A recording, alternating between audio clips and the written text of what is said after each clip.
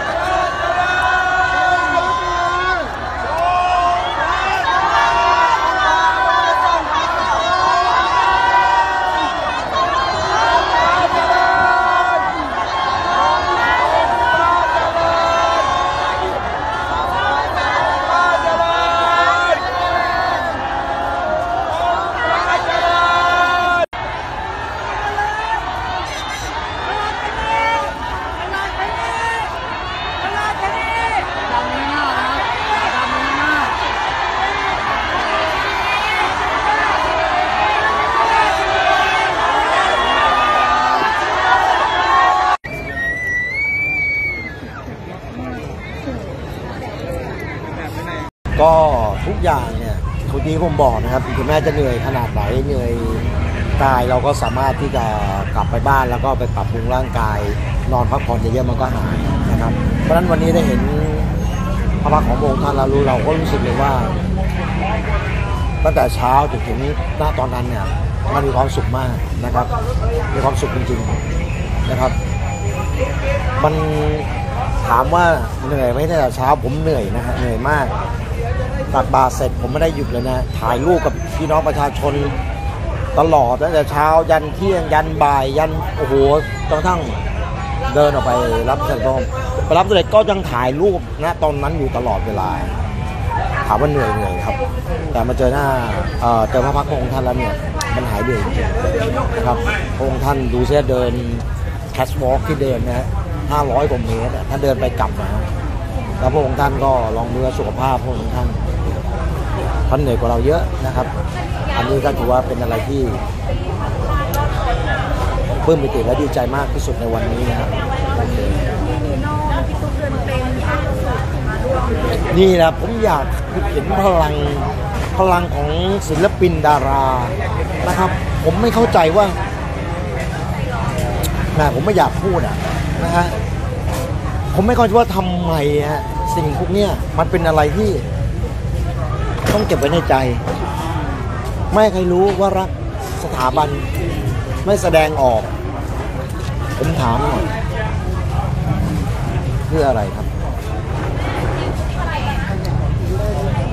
ไม่รู้นะ เอาเอาเอาอาจจะเป็นความคิดเรื่องส่วนตัวอะไรก็แล้วแต่ แต่ผมก็ยังสงสัยอยู่นะสงสัยอยู่ มีแดงมียามีวันนี้ดารามาเยอะมากเลยค่ะที่เข้าสารประเด็นนี้นี่นะเป็นสิ่งที่เราต้องการ อยากให้รวมพลังศิลปินดาราทั่วฟ้าเมืองไทยเนี่ยออกมานะครับปกป้องสถาบันพระมหากษัตริย์ มันเป็นอะไรที่ผมว่าโอ้โหมันมันน่าชื่นชมและประชาชนและหลายคนเนี่ยจะโอ้โหจะดีใจและเขามีความสุขมาก เนี่ยผมเห็นดาราแต่โอเค อาจจะเป็นรุ่นรุ่นเรารุ่นกลางๆ วัยรุ่นก็มีบ้างนะครับ ก็มีบ้าง แต่คิดว่าศิลปินดาราบ้านเรามีแค่ร้อยคนเหรอครับ มีเป็นพันถ้ารวมศิลปินนักร้องด้วยมีเป็นหมื่น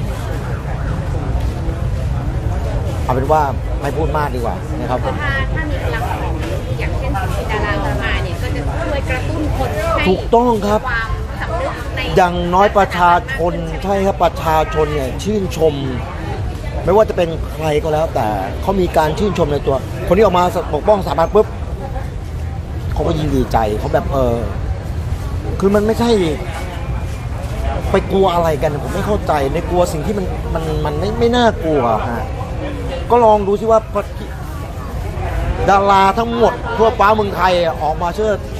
ชูสถาบันพระมหากษัตริย์ ดูดิว่าเขาจะบูลลี่ทั้งหมดเนี่ยลองดูเขาจะเขาจะทำยังไง ผมอยากจะรู้นะ เขาก็ต้องไปดูทีวีเลย ไม่ต้องฟังเพลง ไม่ต้องอะไรเลยกับดาราคนที่ออกมาเชิดชูสถาบันมหากษัตริย์ ผมอยากเห็นวันนั้น พี่บินคิดว่าหลังจากวันนี้เสร็จจากงานงานใหญ่งานสำคัญวันนี้ไปแล้วเนี่ยจะมีดาราที่ยังเก็บอยู่ในใจจะเปิดเผยตัวแล้วก็มาแสดงพลังมากขึ้นกว่านี้ไหมคะพี่บินผมไม่คาดหวังอะไรเลย มันเป็นสิทธิส่วนบุคคลแล้วก็ส่วนตัวของเขานะครับ อันนี้ผมก็ได้แต่พูดได้แต่บอกนะครับ เพราะว่าสังคมเนี่ยเราต้องเราต้องยอมรับว่าหนึ่งศิลปินดาราเนี่ยมีมีความหมายมากมีคุณค่ามากนะครับ ยิ่ง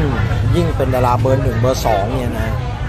ที่ออกมาออกมาแสดงตัวอย่างชัดเจนเนี่ยมันก็จะกลายเป็น เขาเรียกว่าดาบสองคมอีกมุมในมุมมืดเนี่ยเราไม่รู้ว่าเขายังไง พอศิลปินเบอร์หนึ่งออกมาปุ๊บมาปุ๊บอ๋อมึงเงี้ยกูหยุดกูเลิกมันก็เขาผู้เขาต้องการเขาเรียกว่าเขาก็เป็นอาชีพของเขาอะนะเขาก็ไม่อยากมีปัญหาอะไรกับใคร แต่ผมคนอาจจะห่วงว่ากระแสสังคมอาจจะ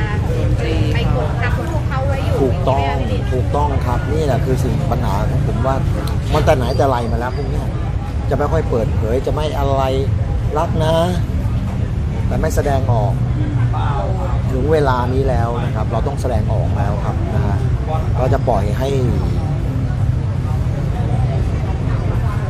คนอื่น มาย่ำยีสถาบันเราเนี่ยเราจะทนนี้ต่อไปนานแค่ไหน ยอมนะทุกวันนี้ผมยอมหมดแล้วว่าโอเคจะอะไรผมก็เชิญนะครับ แต่ผมอยากทำในสิ่งที่ที่ผมอยากจะทำผมอยากจะทำในสิ่งที่ที่ผมศรัทธาเทิดทูนและรัก โดยไม่มีเงื่อนไขจริงๆนะครับเขาอาจจะว่าเอ้ยดาราแก่แล้วอายุมากถ้ามันเถอะไม่มีอะไรก็นี่แหละครับก็อยากให้ทุกคนคิดแบบนี้เหมือนกันแม้จะเป็นดาราระดับไหนอะไรก็แล้วแต่นะถ้าเราได้ได้ได้แสดงออกในจุดที่ ที่ถูกต้อง มันใช่ไหมครับหน้าที่ของคนไทยที่ถูกต้องอะมันกลายเป็นว่าณตอนนี้ ใครออกมาแสดงความถูกต้อง โอ้โห กลายเป็นเรื่องเป็นราว ไม่มีจุดยืน ถ้าก่อนพวกขวัญอ่อนกลัวลนลาน ขอโทษไม่เอาแล้ว ขอโทษนะครับ มันมันไม่ใช่ แต่ผมว่านะผมก็ย่อมบอกที่บอกไปนะว่า อาชีพคนก็โอเค มันก็สำคัญนะเขาก็ต้องเข้าใจเราก็เข้าใจนะพี่ใช่ครับเราเราเราเข้าใจครับไม่เป็นไรครับที่ที่ผมพูดไปก็ก็ด้วยความสงสัยในส่วนตัวผมเองนะฮะในส่วนตัวผมเองไม่มีอะไรไม่อะไรใครก็แล้วแต่สิทธิของท่านท่านจะออกมาหรือไม่ออกมาก็ก็แล้วแต่ แต่ผมยืนยันว่าตลอดชีวิตนี้ยังไงผมก็ต้องปกป้องสถาบันพระมหากษัตริย์ครับผมแต่วันนี้ชื่นใจที่ ชื่นใจมากประชาชนเนี่ยผมว่าวันนี้น่าจะหลัก5 0 0แสนนะครับ เราเห็นนี่ข้างในนะข้างนอกยังมีบริเวณรอบๆนอกนะครับ เพราะฉะนั้นวันนี้เป็นอะไรที่ผมว่าทั้งสองพระองค์ทั้งในหลวงพระราชินีเนี่ยทรงปราบด้วยและมีความสุขมากผมว่านะวันนี้ซึ่งหลังหลังจากนี้เราจะมีแผนเดินทางไปจังหวัดไหนที่เราติดต่อมีที่ปัตตานีวันที่ 18 มกราอันนี้คือยาวไว้ก่อนนะแต่ เห็นหมายนะครับของพระเจ้าอยู่หัวพระราชินีที่ท่านทรงจะเสด็จไปโอ้โหหลายจังหวัด แล้วก็วันที่7พฤนเนี่ยมาที่ศาลฎีกาแต่ทีนี้ยังไม่ยังไม่ทราบข้อมูลอะไรมากมาย ถ้าวันที่7ไม่ได้ไปที่ตรังหรือนครที่น้ำท่วมนะตอนนี้วันที่ 7 ก็อาจจะมาเฝ้ารับเสด็จพระองค์ท่านทุกครั้งอยากเห็นหน้าพระพระองค์ท่าน ไม่มีอะไรผม รือว่าได้ทำในสิ่งที่ผมอยากจะทำอะเท่านั้นเอง